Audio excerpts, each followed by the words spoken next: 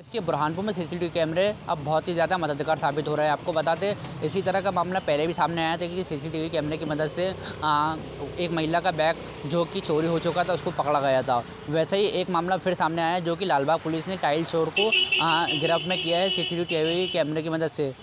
P news के लिए camera person Mohammad Aleem के साथ में दानिश खान बुरहान।